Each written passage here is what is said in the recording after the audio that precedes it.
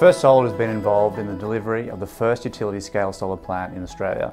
It's an extremely exciting development for the industry as it's the first time that any plant over the size of one megawatt has been executed in Australia. The Greenough River Solar Farm was delivered by a number of industry leading partners, including the project owners, Verve Energy and General Electric Energy Financial Services, and First Solar in our capacity as the EPC provider.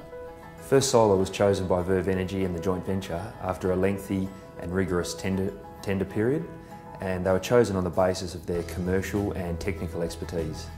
Most of our competitors participate in individual components of the solar value chain, whereas First Solar we've made a very deliberate effort to integrate throughout the value chain so that we can offer a one-stop shop for utility scale solar plants, including the engineering, the procurement, the construction, obviously the supply of the panels and operating and maintaining the plant.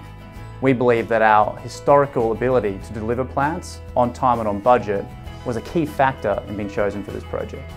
The plant took about 18 months to deliver and in that we managed to conduct an extremely complicated logistics exercise. The plant is located in one of the more remote regions in Australia and frankly probably the most remote region we've ever delivered a project. It involved the delivery of 150,000 solar panels across approximately 30 to 40 hectares and leveraged a lot of the local capabilities of the Geraldton community.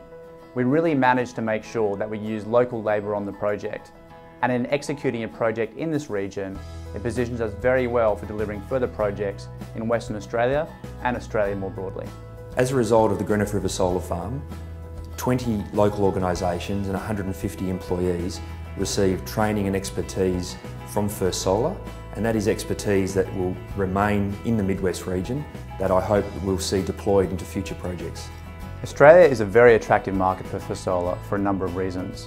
When we look at the kinds of factors that make a market in the solar industry appealing, Australia exhibits many of them.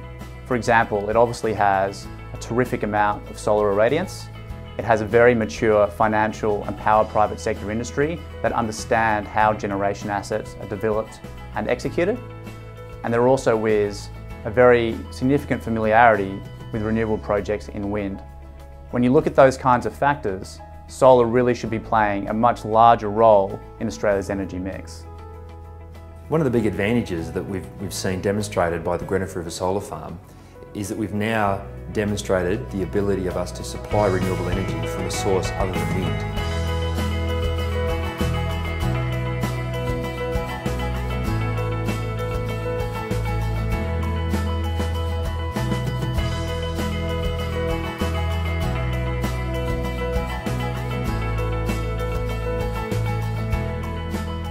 The future for the Australian solar industry is extremely bright on the back of this project.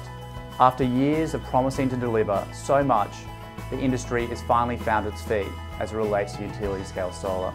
It is validated and proven that these projects can be delivered, that they should be delivered.